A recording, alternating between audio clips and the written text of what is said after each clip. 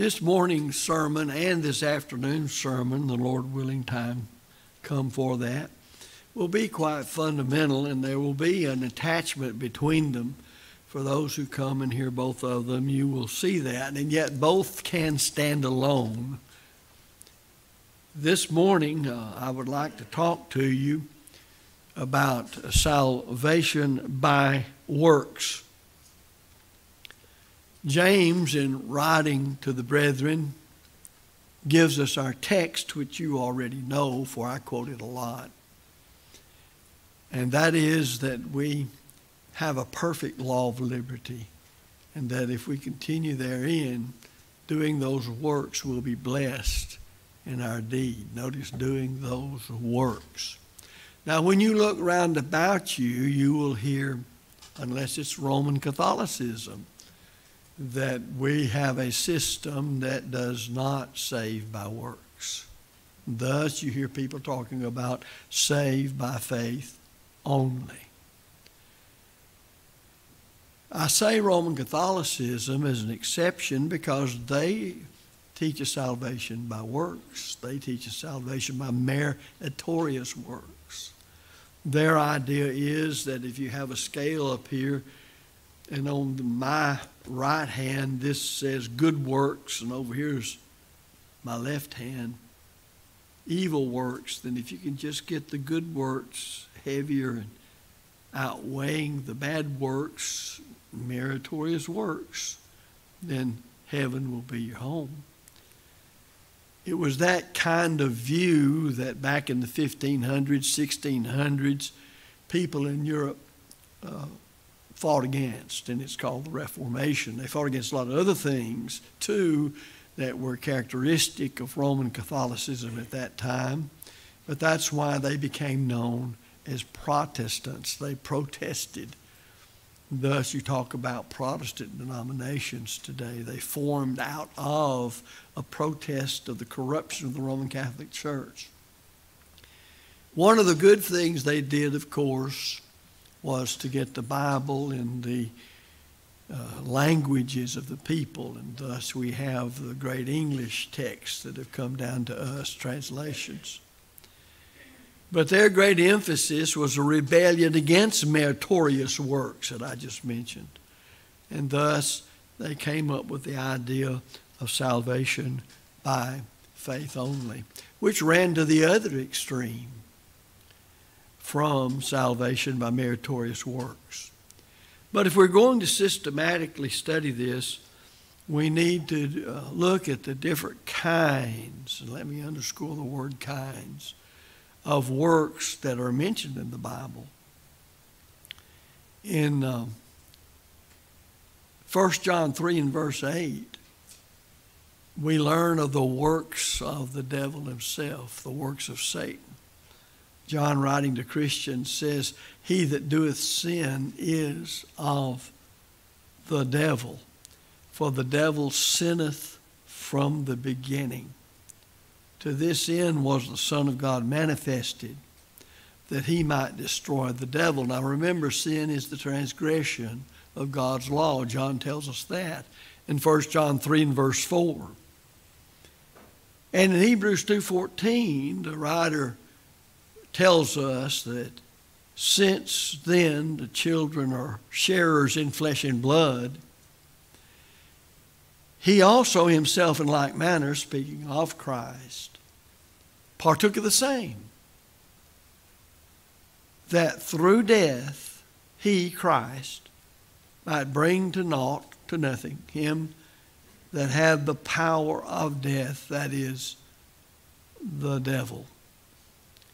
And of course, we see the very vague prediction that the seed of woman would inflict a mortal blow to the serpent, as it were, in Genesis 3:15.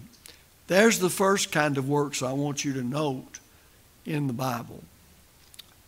Then there are the works of the law of Moses. Because by the works of the law shall no flesh be justified in his sight.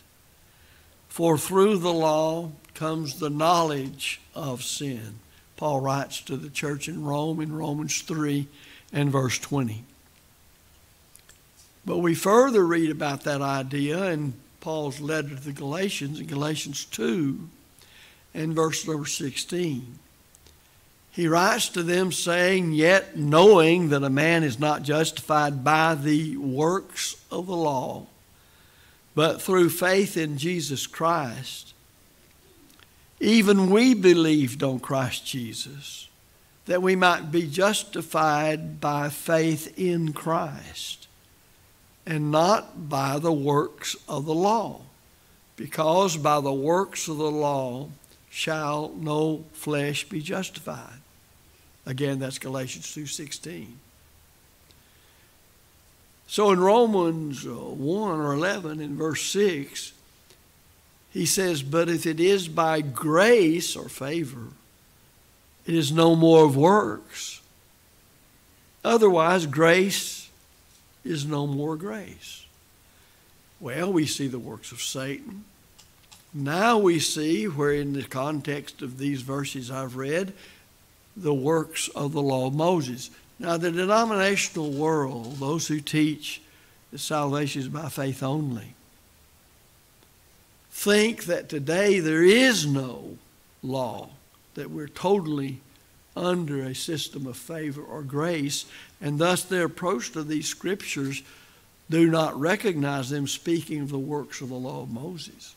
Paul is contrasting salvation through faith in Christ and the gospel system. Remember, the gospel is God's power to save. He said that in the beginning of the book of Romans, Romans 1.16.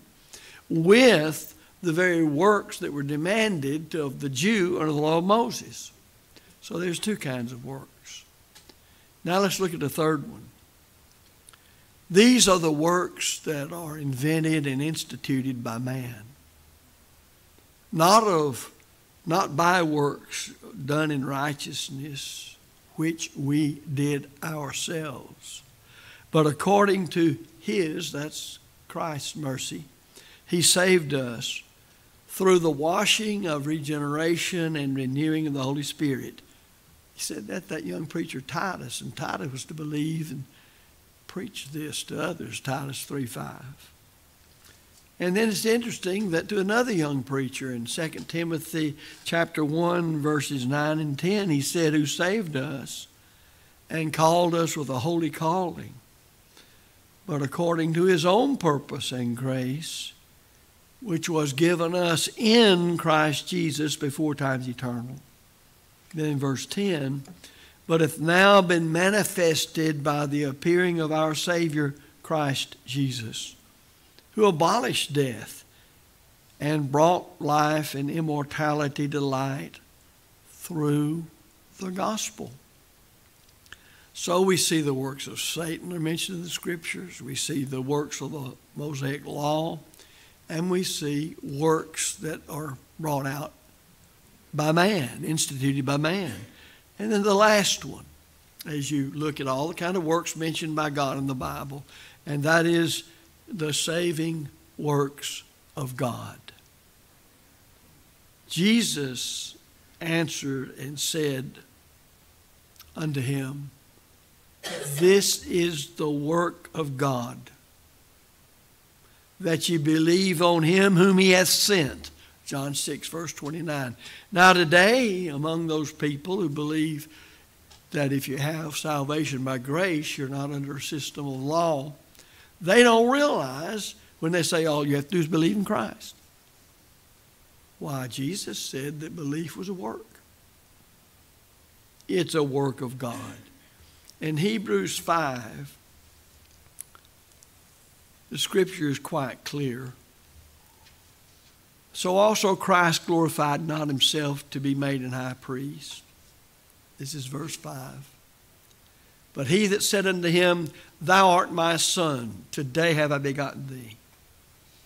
As he uh, saith also in another place, Thou art a priest forever after the order of Melchizedek, who in the days of his flesh, when he had offered up prayers, supplications, with strong crying and tears unto him that was able to save him from death, and was heard in that he feared, though he were a son, yet learned the obedience by the things which he suffered. And being made perfect, he became the author of eternal salvation unto all them that obey him. That's an important point to keep in mind, isn't it? Unto all them that obey him. I want to ask you a question. If Christ is the author of eternal salvation to all them that obey him, and to obey anyone is to act or to work, then is it not clear that working the works that Christ has given us produces salvation? If not, how do you explain He's the author of eternal salvation unto all them that obey Him?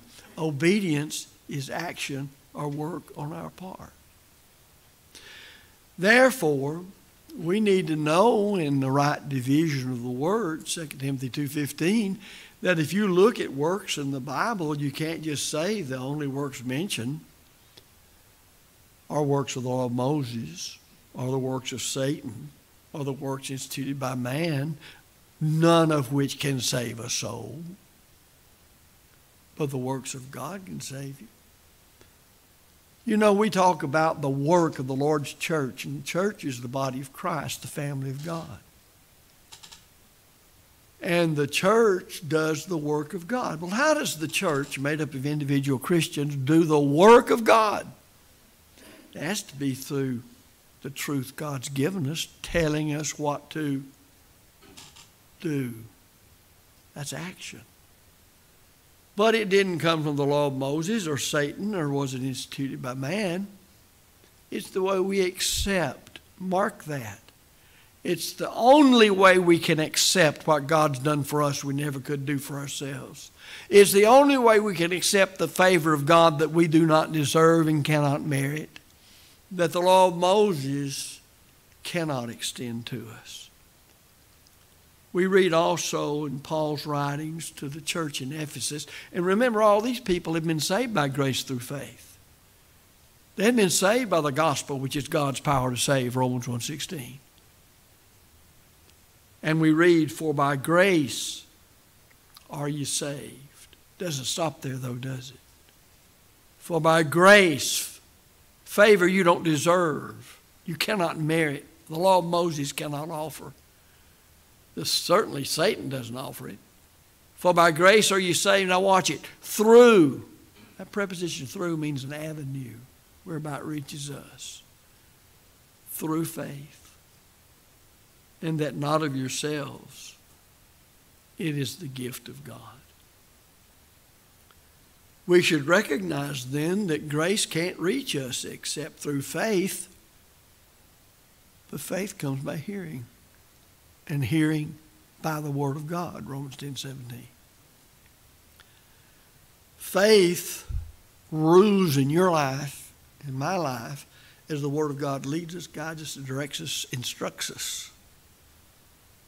And Christ saves us by his gospel as we hear and understand how to receive that salvation that we don't deserve and we cannot merit, does not come from Satan, and cannot be provided in the works of the law of Moses.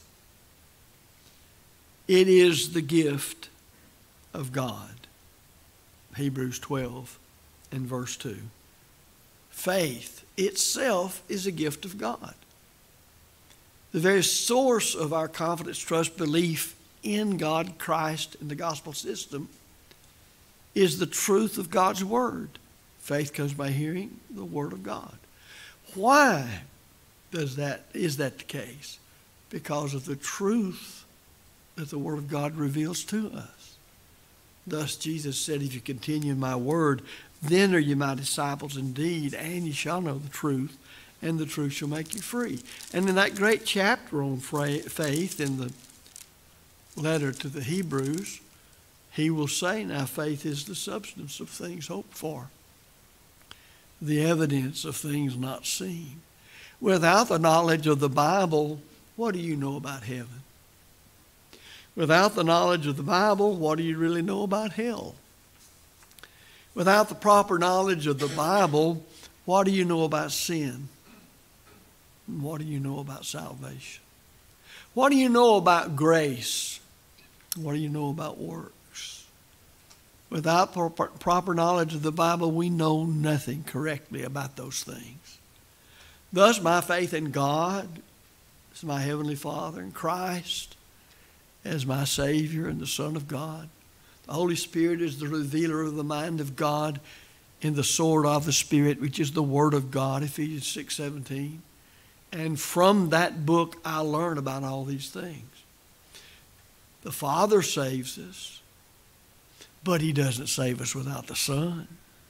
The Son saves us, He doesn't save us without the Father. Father and Son save us, but they don't save us without the Spirit. The triune God saves us, but not without the Bible. The Bible saves us, but not without the gospel message found therein, we rightly divide it, 2 Timothy 2.15. We're saved by baptism. But baptism alone doesn't save a soul. Let that sink in. We're saved by repentance. But repentance alone doesn't save us. We're saved by confessing our faith in Christ, that He's the Son of God. But that alone will save us. And so on you can go. There are a host of things the instructional Word of God tells us saves us. And so it is, Peter would write, baptism doth also now save us. And in Acts 10:48, Peter commanded the believers at the household of Cornelius to be baptized. He what? He commanded them to be baptized. They were brought to belief in Christ, the Son of God, by the message Peter preached. Wasn't that enough? They'd received the word. Won't the word save you? Yes, but not by itself. Will not preaching the gospel save a person? Yes, but not by itself. Will not belief produced by receiving the gospel and understanding it save you? Yes, but not by itself. Will hearing and believing save you? No, they won't by themselves. Will repentance save you? No. But we're commanded to repent, Acts 17 30, and Luke 13 3 and 5. It's faith and baptism, faith and obedience, faith and work. Works of Satan, works of the law, works of man? No. But the works on our part that says, Speak, Lord, thy servant heareth. Command, and I will obey. And Jesus would say in his earthly ministry, Why call ye me Lord, Lord? And do, it's a work as far as I know not the things which I say. And he's the author of eternal salvation unto all them that obey him. Obedience is action, it's work on my part, but not works of Satan or the law of Moses or anything some man thought of. It's the way and the only way anybody can accept what's freely given to us and that we don't deserve and the love of God through the grace of God by the mercy of God extends to us when what we deserve is eternal damnation. So we need to understand those particular points. All those things are the works of God. Repentance is, as I said, a work of God. Acts 5.31, the teaching there by Peter, Luke records, speaking of Christ, him did God exalt with his right hand to be a prince and a savior. Now listen. And to give, give, that means it's a gift, to give. To give repentance to Israel and remission of sins, Acts 5 and verse 31. And yet I find that one of the things that leads us to repentance, according to Paul Romans 2 4, is that the goodness of God leadeth thee to repentance. Repentance is the breaking down of our old stubborn will, which is the seed of all sin and rebellion against God. That's done when we come to grips with the fact I've sinned and it's my fault and I have nobody to blame but myself.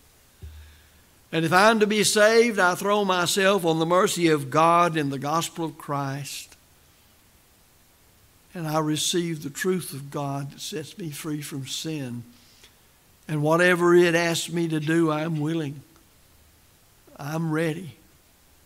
And thus we have Paul reminding the members of the church at Rome who were, had done these things, they had received the grace of God, that they had obeyed from the heart that form of doctrine which was delivered them, being then made free from sin.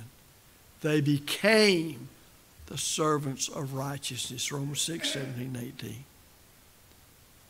And so it is that it took the work on their part. What work? Obedience. Had they believed in Christ? Yes, but belief alone won't save anybody. Had they repented of the sins? Yes, but belief and repentance won't save anybody. Had they confessed their faith in Christ? Assuredly, Romans 10 10. But those three things, standing alone or together, won't save anybody. They had to obey the form of doctrine. That's action on their part. What was the form of doctrine? Romans 6 3 and 4. Buried with Christ in baptism. But whose work was it? Their work? Satan's work? Law of Moses? It's God's work. Can I do God's work? I have to do God's work. I must do God's work. I won't go to heaven if I don't do God's work. Thus, when I believe, Jesus said that's the work of God. When I repent, I'm commanded of God to repent. That's a work of God. When I confess my belief in Christ, the Son of God, that's the work of God. And guess what? When I am baptized into Christ for the remission of sins, that's no work of Satan. That's no work of the law of Moses. No man thought that up. But it's God's work. Do you realize that when a person is baptized, immersed in water by the authority of Christ to obtain the remission of forgiveness of sins, that in reality, by submitting to the commands of God, it is Jesus who's baptizing him? Whose will are we doing? It's His. And the person outside of Christ who wants to get into Christ, wherein are all spiritual blessings in heavenly places, Ephesians 1 must, verse 3, must go through the doorway into Christ. What is it? Galatians 3, 26 27. We're baptized into Christ. There, there is no other doorway into Christ. You don't believe into Christ? Read your Bible like you ought to in the New Testament in particular, and you'll see rather quickly there's no, no scripture that says you're baptized or you believe you believe into Christ. There's no scripture that says you repent into Christ or confess into Christ. All those are headed toward the right direction, unto in order to a given end. But a person's only baptized into Christ. That's the doorway. Now, whose works are those? What man thought up the idea that the blood of Christ would forgive sins? Man didn't. What man came up with the idea of belief in Christ, of repentance of sins, of confession of faith in Christ, of being baptized in Christ? No man did. It's not in the law of Moses. Certainly Satan wouldn't want you to do it. All those things are the works of God because they came from the mind of God, and it's the way we accept what we don't deserve and cannot merit salvation from sin. There has to be a way that we demonstrate to God we have faith in Him and His system of salvation. Denominations say, well, just believe and you're not doing anything. Well, the Bible says, doesn't it, that belief is a work of God, as is repentance and confession of faith and baptism. If not, Peter lied through his teeth. And the Bible's a liar when he says baptism does also now save us. Well, it does or it doesn't. But it does. But God saves us. But baptism saves us. it must be that God saves us when, as believers who have repented of our sins and confessed our faith in Him, we're baptized to be saved. And that's what Jesus said in the Great Commission Go ye into all the world and preach the gospel to every creature. He that believeth and is baptized shall be saved. He that believeth not shall be damned. And so it is that uh, the belief that's mentioned in all that we've talked about today is a belief that's built upon, of thus saith the Lord, Romans 10 17. And in that belief, coming from the Word of God, is the teaching from God that we must repent, confess our faith, and be baptized into Christ. And Peter, who preached what he did on the day the church started with the other apostles, his sermons recorded in Acts 2, said to believers, Repent be baptized, every one of you, in the name of Jesus Christ for the remission of sins. You know, to a great many people, we have to say what Jesus said to the persecutor Saul of Tarsus when he appeared to him as he went to Damascus. Remember, Saul, Saul, why persecutest thou me? Who art thou, Lord? I'm Jesus of Nazareth, whom thou persecutest. It is hard for thee to kick against the pricks or the goads. It's hard to fight the truth. It's hard to fight that which is so plain in your own Bible. You know, members of the Church of Christ today did not write any part of the Bible. The Lord's church, as it is revealed on the pages of the New Testament, is a product of believing and obeying the truth. Roman Catholics have you believe they brought us the Bible. Well, that very claim proves to me they're not what they ought to be or what they claim to be. Because the Word of God is the seed of the kingdom, Luke 8 11. The Word of God is the sword of the Spirit, Ephesians 6 17. It's the Word of God believed by individuals and obeyed that produces the church. I see that in Acts 2. When people received with meekness the truth, they believed from the heart and obeyed it, and they were added to the church by the Lord Himself, Acts 2, verse 47. And these are the people who gladly received His word. Now, if you're hearing His word and you won't do what they did, and you say, But I gladly receive the word of God, no, you don't. I beg to differ with you. If you say, This is the word of God, but you won't be baptized when you know you ought to be, don't you realize you're rejecting the word of God? You're rejecting the way one is saved by God through Christ in the gospel system. So, baptism is a work of God.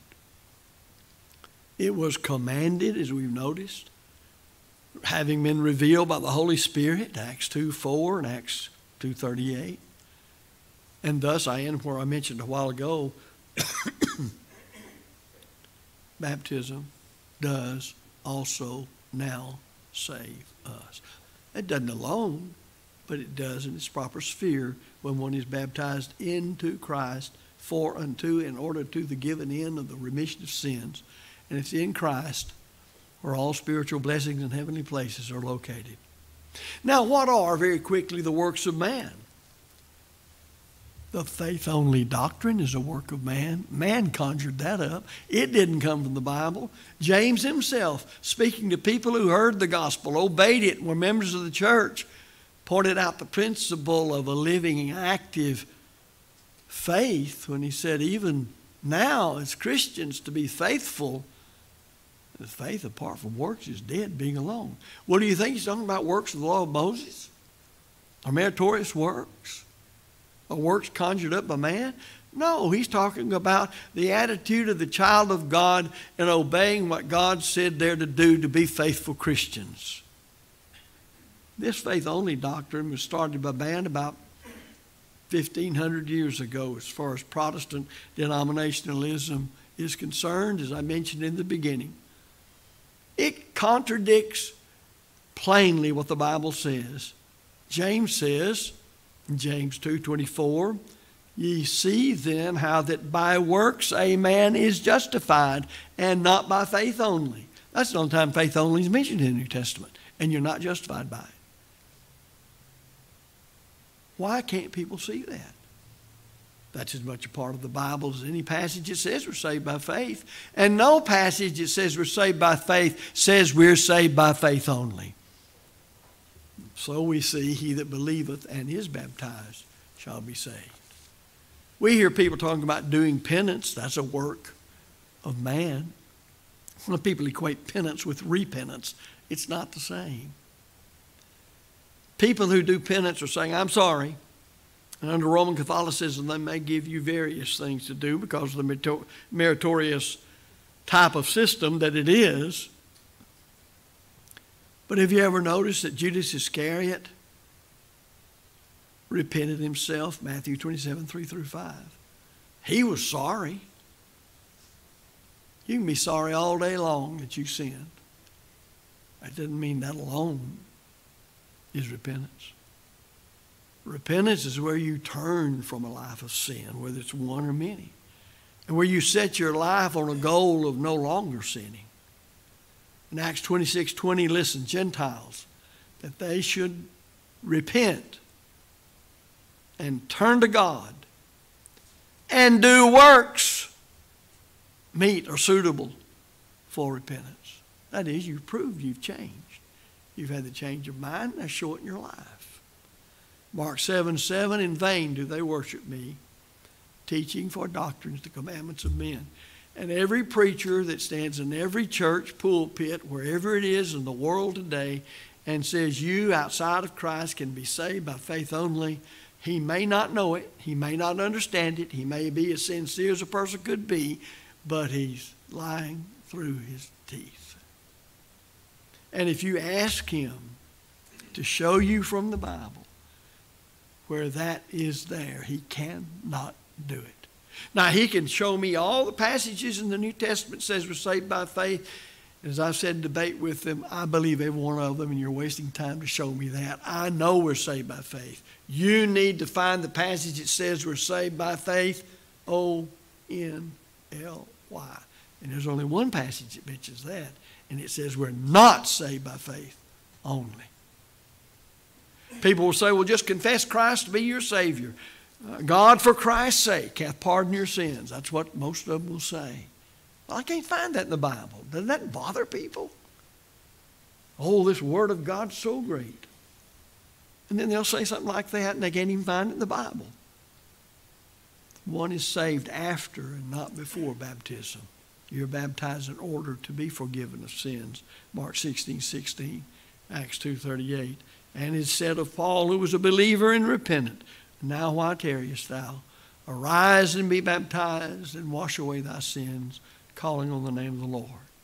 The idea of sprinkling water on somebody and calling it baptism, or pouring water on somebody and calling it baptism, is foreign to the teaching of the Bible. That's a work of man. Confessing Christ, that's all that's involved, is a work of man. Doing penance is saying, I'm sorry and not changing your life. That's a work of man. We've already studied about baptism. It requires a coming to, a going down into, and a coming up out of. Acts 8, 36 through 39. That's water we're talking of. In fact, baptism requires much water, John 3 and verse 23. And the reason why? Because Romans 6, 3 and 4 says baptism is a burial in water. And it must be done from the heart, according to Romans 6, 17 and 18. And only then is one free from alien sins and a Christian, a member of the Lord's church. Romans 6 18. These things I mention here are truly works of men. Now I close with this. It happens every day and it'll happen to the end of time. God's workings can be resisted. You can say, I know that Jesus said that belief is a work of God, but every time you do that, you look a little closer into the pits of hell where you're traveling. Even the works of God, the very source of faith, can be rejected. Listen to this. The first preaching tour of Paul and Barnabas. And Paul and Barnabas spake out boldly and said to the Jews who had been hearing the gospel, it was necessary that the word of God should first be spoken to you. See ye thrust it from you. Now, what happens when you do that? You know the truth, you know it's the word of God, you reject it, and you thrust it from you. Here's what he said and judge yourselves unworthy of eternal life. Lo, we turn to the Gentiles. Now think about that. Oh, don't judge me. Are you judgmental? Well, I tell you, the Bible already tells us God's judgment. I already know how to judge things. My own life, anybody else's. It's what's right and wrong, how to become a Christian, who is and who isn't. I also know the standard of judgment on the day of judgment. But I can judge myself unworthy of eternal life. How? Just reject the truth.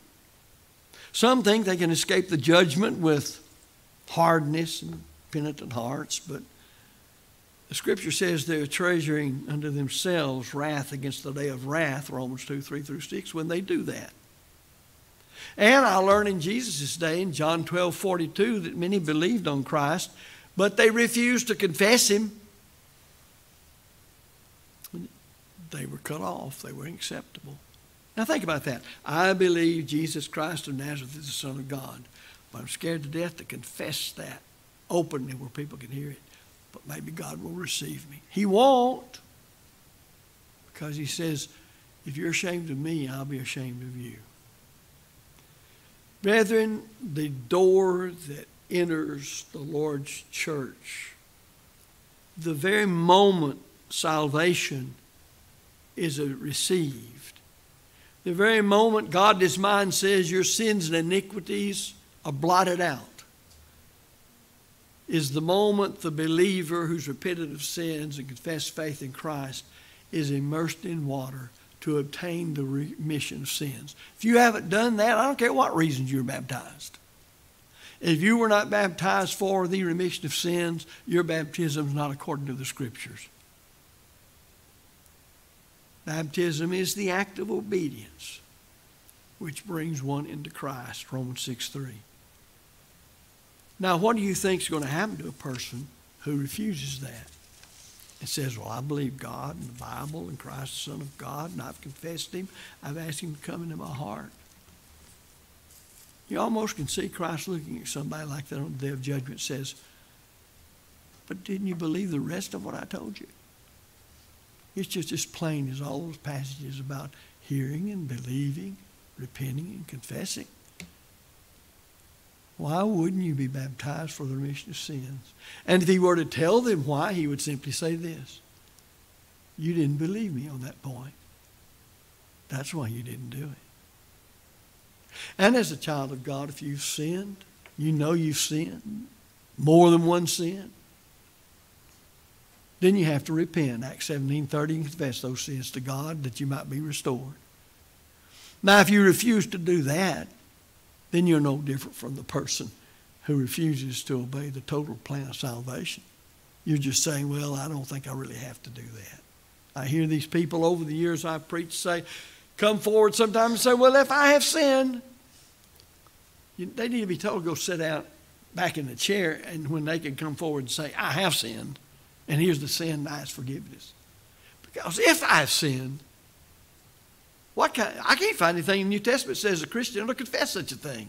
If I've sinned. You know whether you sinned or you didn't. You know whether it's public or private. And you know who else knows it? God does.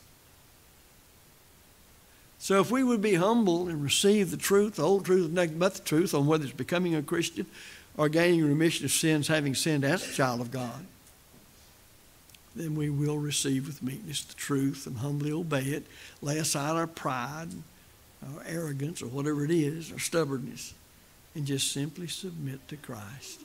All of us have to. It's the way of righteousness, it's the way of heaven.